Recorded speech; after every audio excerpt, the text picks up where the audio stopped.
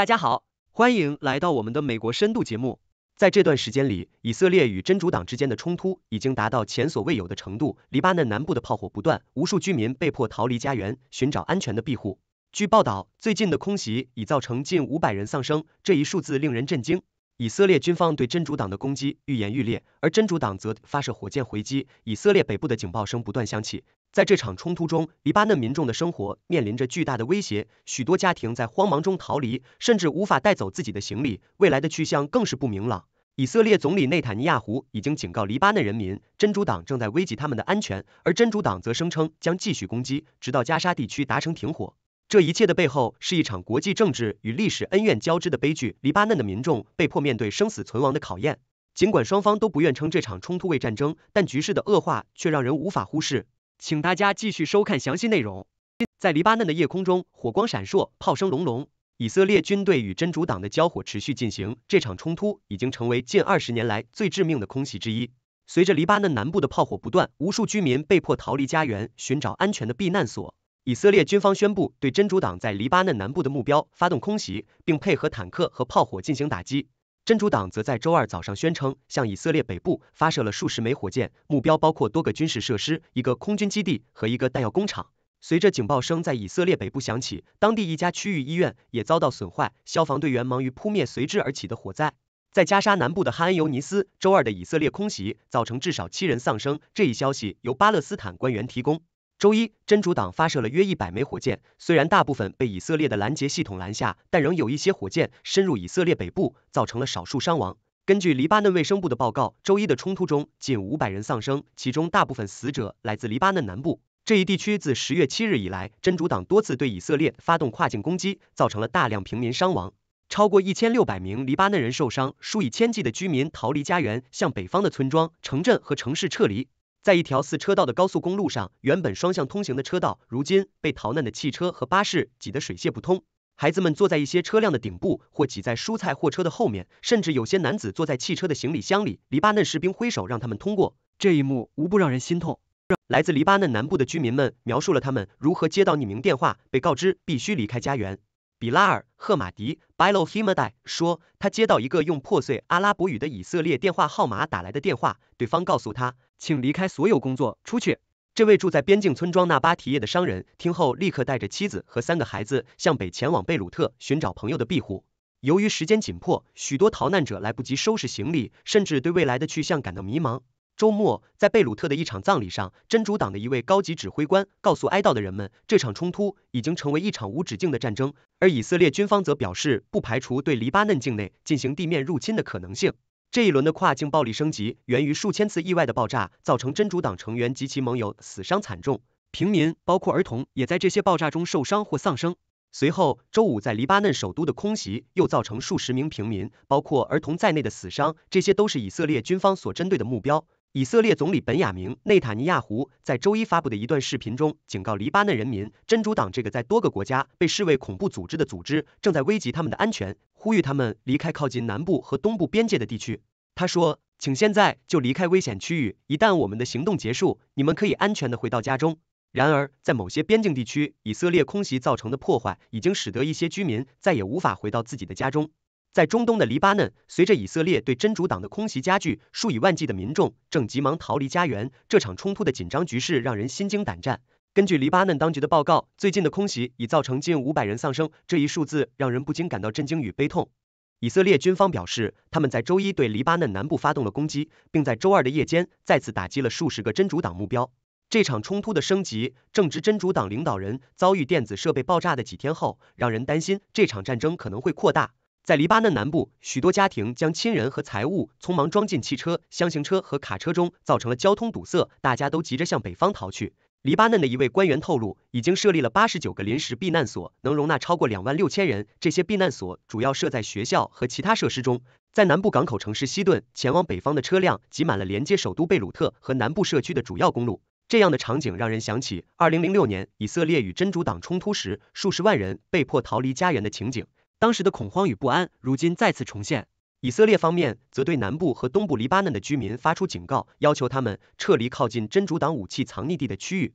以色列总理内塔尼亚胡在一段短视频中对黎巴嫩人民表示，以色列的战争不是针对你们，而是针对真主党。真主党长期以来一直将你们当作人肉盾牌。这番话无疑加深了民众的恐惧。在周一的冲突中，真主党向以色列发射了超过一百枚火箭，这使得以色列北部的警报声不断响起，包括海法等城市。以色列军方表示，已经有约六万人因为跨境战斗而撤离北部地区。随着局势的恶化，卡塔尔航空公司宣布暂停对贝鲁特的航班，并表示乘客的安全是他们的首要任务。德国的汉莎航空和法国的法航也相继暂停或延长了对贝鲁特的航班停飞。这场冲突的背后涉及的国际政治与历史恩怨让人感到复杂而沉重。自1997年以来，美国和德国等国家已将真主党列为恐怖组织，而欧盟则在2013年将其武装部队列为恐怖组织。这些国际动态无疑加剧了地区的紧张局势。在这样的背景下，黎巴嫩的民众面临着生死存亡的考验。每一个逃离的家庭背后都是一个个悲伤的故事。有人在逃离的过程中失去了亲人，有人则在逃亡中失去了家园。这场战争不仅是国与国之间的冲突，更是无数家庭的悲剧。随着局势的发展，未来的日子将会更加艰难，黎巴嫩人民的命运也将更加不确定。以色列正在对黎巴嫩的多个目标进行轰炸，打击贝鲁特的高级武装分子，甚至在对讲机和传呼机中隐藏炸弹。真主党则向以色列北部发射火箭和无人机，点燃建筑物和汽车。然而，没有人称这是战争，至少目前还不是。以色列官员表示，他们并不寻求与真主党开战。如果这个武装组织停止攻击并撤离边界，战争是可以避免的。真主党也表示不想发动战争，但已经做好了准备，并且会继续对以色列的攻击。这是自盟友哈马斯在十月七日发动攻击后开始的，直到加沙地区达成停火为止。自那以后，以色列和真主党不断交火，但周一的冲突强度达到了另一个层次。根据黎巴嫩官员的说法，以色列的空袭造成四百九十多人死亡，这将使黎巴嫩成为自二零零六年以色列和真主党上次开战以来最致命的一天。伦敦国王学院的军事分析师安德烈亚斯·克里格表示，如果有人在二零二三年夏天告诉我，或大多数分析师，真主党正在攻击以色列的基地，而以色列正在轰炸南黎巴嫩和南贝鲁特的部分地区，我会说这是全面战争。目前尚未将这一术语应用于当前的冲突，因为尚未有地面部队参战。但他补充道，这可能是错误的标准。那么，战争的定义究竟是什么呢？梅里亚姆·韦伯斯特将战争定义为国家或民族之间通常公开和明确的武装敌对冲突的状态。学者们通常扩展这一定义，以涵盖涉及叛乱分子、民兵和极端组织的大规模暴力。然而，任何试图更精确的定义都很困难，因为武装冲突的范畴从国家之间的坦克和战斗机冲突到较低级别的战斗不等。有时，国家会正式宣战，例如以色列在去年哈马斯攻击后所做的那样。尽管如此，对于真主党，以色列并未做出类似的宣告，但他将对该组织的打击与加沙的战争联系在一起。上周表示，允许数万名居民安全返回北部是该冲突中的一个目标。以色列国防部长约阿夫·加兰特也经常谈到与伊朗及其盟友在七个战线上进行的持续战争，包括黎巴嫩。国家通常会避免宣战，即使他们显然已经参与其中。俄罗斯官方将其对乌克兰的入侵等称为特殊军事行动，并禁止公开将其称为战争。美国自第二次世界大战以来未正式宣战，即使他参与了韩国、越南、伊拉克和阿富汗的重大冲突。那么，为什么双方都不想称之为战争呢？以色列和真主党都不使用“战争”这个词的部分原因是，他们都希望在不引发更严重冲突或被指责的情况下实现自己的目标。查塔姆研究所的中东专家的丽娜·哈提布表示，尽管紧张局势加剧，但南黎巴嫩的情况并不是全面战争，因为真主党和以色列都希望利用有限的手段来相互施压。真主党希望通过火箭和无人机攻击来迫使以色列同意与哈马斯达成停火，这是一个同样受到伊朗支持的武装组织，并避免被视为屈服于以色列的压力。真主党表示，如果加沙地区达成停火，他将停止攻击，但这样的协议前景似乎渺茫。以色列总理本雅明·内塔尼亚胡誓言将采取一切必要措施以停止攻击，让流离失所的以色列人能够返回家园。克里格表示，我认为以色列正在试图告诉真主党，你来谈判桌上，我们将通过外交解决这个问题，否则我们将把你逼入绝境，直到你过度反应。那将是全面战争。那么，全面战争会是什么样子呢？直到最近，专家们普遍认为，以色列和真主党之间的任何未来战争都将类似于2006年他们所打的战争，但会更糟。多年来，以色列官员警告说，在与真主党的任何未来战争中，军队将对黎巴嫩本身造成惩罚性的损失，摧毁关键基础设施，夷平真主党的据点。这被称为达西耶教义，以该组织位于贝鲁特南部拥挤地区的名称命名。该地区在2006年遭受了重创。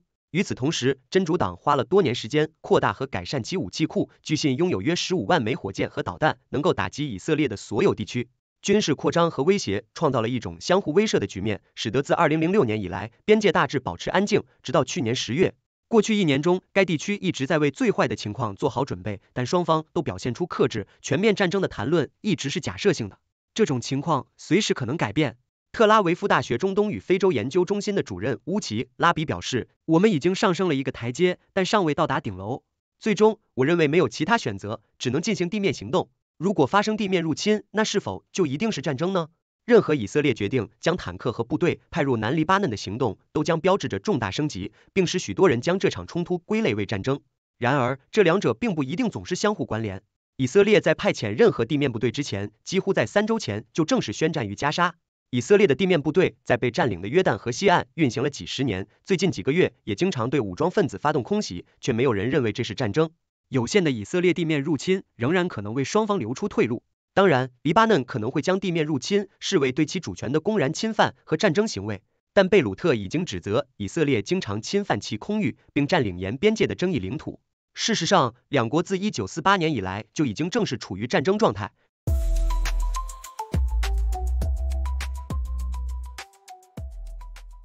欢迎大家进入六度探索的辩论环节，我们从正反两个角度对本节目进行辩论，请出我们的辩论高手楚天舒、谢琪琪。我是楚天舒，我是谢琪琪。我们必须理解以色列的立场。面对真主党这样的恐怖组织，以色列的自卫行为是合理的。以色列的防御措施，包括空袭和地面打击，都是为了保护自己的平民。我们可以从历史上看到，以色列一直面临来自四面八方的威胁。这种情况下，他们必须采取果断行动来确保国家的安全。正如古代罗马的防卫战略，如果你不积极打击敌人，敌人就会打击你。嘿，楚天舒，别把以色列说的像个无辜的小绵羊。真主党确实有问题，但你不能忽视以色列对黎巴嫩的侵略行为。黎巴嫩的平民正被迫逃离家园，这就像是罗宾汉的故事，只不过这次是坏蛋拿着弓箭。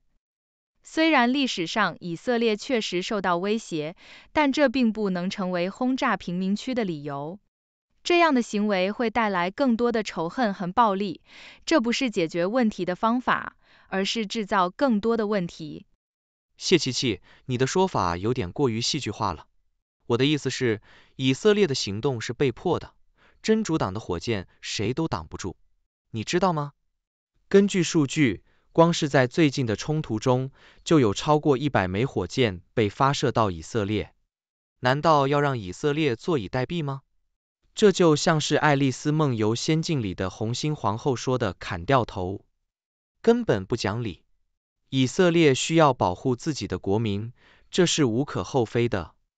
哦，楚天舒，真是感激你给我上了一堂火箭军事课。但实际上，这场冲突让无数无辜的黎巴嫩人受苦，你知道吗？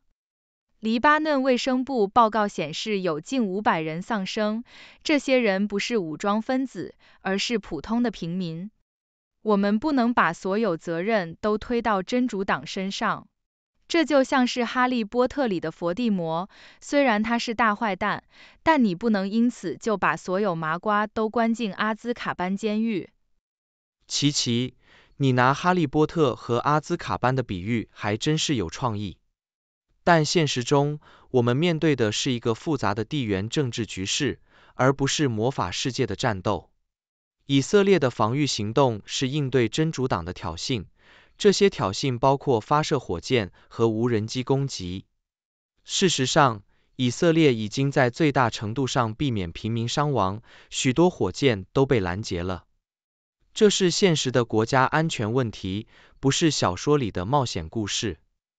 哦，楚天舒，你真是个安全专家，但你忽略了一个事实，那就是这些防御行动并没有解决根本问题。看看历史吧，这场冲突已经持续了几十年，双方互相攻击，结果都是一样的，平民受苦，仇恨加深。这种循环就像是魔戒里的索伦一再复活，永无休止。正如德国哲学家尼采所说，当你凝视深渊时，深渊也在凝视你。以色列和真主党都需要找到一个和平的解决方案，而不是继续这场无尽的战争。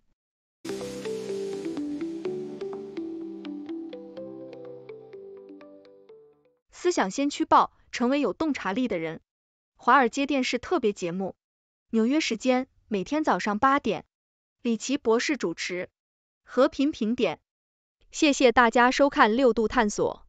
这是一个由科学家、经济学家、媒体人、工程技术人员合作建立的新型媒体。网友与六度 AI 参与合作完成各种内容，这些内容不能作为任何决策或法律的意见。这是一个新型的试验性媒体方式，我们希望得到大家的支持，修正错误。网友可以参与讨论，也可以向万能的六博士提出你能想出的任何问题。六度世界网址是六度 world，请介绍给你的亲朋好友。